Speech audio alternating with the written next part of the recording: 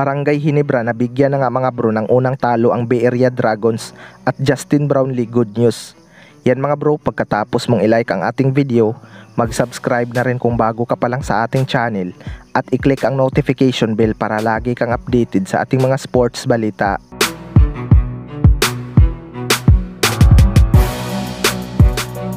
So maraming ang nakaabang sa laban ng Bay Area Dragons at Barangay Hinebra mga bro.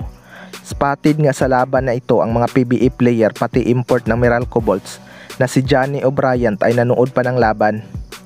Simula pa lang ng laban mga bro ay napakaganda na nga ng bakbakan ng dalawang magkalaban noong college na sina Justin Brownlee at Andrew Nicholson.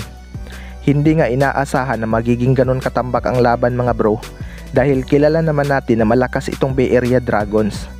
Pero napakaganda nga ng opinsa nitong Barangay Hinebra. Ang isa nga sa mga inaabangan ng mga Hinebra fans na mag-debut game sa Barangay Hinebra na si Jeremiah Gray mga bro ay finally nakapaglaro na din kagabi. Pero restricted pa nga sa 12 minutes ang playing time nito ayon kay Coach Tim Con kaya pinaglaro lang ito ng 6 minutes sa first half at 6 minutes naman sa second half. Pero maganda pa rin ang naging debut game nito mga bro scoring 5 points kabilang ang kanyang isang tres. Ganda din ang nilaro ni Jimmy Malonzo sa laban na ito mga bro. Ito talaga ang kumana sa mga locals noong first half pa lang ay naka 10 points na agad ito. Napaka-aggressive nga nitong si Jimmy Malonzo sa opinsa kaya naka 17 points nga ito sa buong laban mga bro. Tapos ang ganda talaga ng dipinsa ng Barangay Hinebra sa laban na ito lalo na itong season MVP na si Scotty Thompson mga bro. Hindi man ito nakapuntos ng malaki pero nagpakilala nga ito sa Bay Area Dragons kung ano ang kanyang kayang gawin. Hindi nga masyadong makapurma itong mga gwardya ng Bay Area Dragons dahil sa ginagawang dipinsa ni Scotty Thompson. Talagang napapahiyaw ang crowd kada dukot ng rebounds ni Scotty Thompson. Credits talaga sa magandang dipinsa ng buong barangay Hinebra mga bro, kaya hirap makapuntos ang Bay Area Dragons sa second half.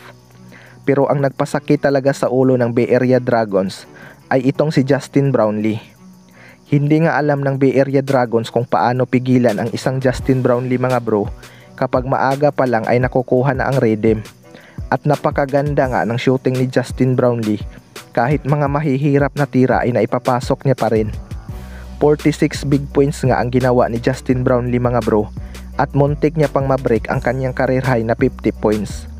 Parang ang nakabingwit ng malaking isda itong barangay Hinebra mga bro dahil di lang nila basta tinalo itong top seeded na Bay Area Dragons kundi tinambakan pa ng halos isang buwan. Kayo mga bro, anong masasabi nyo tungkol dito?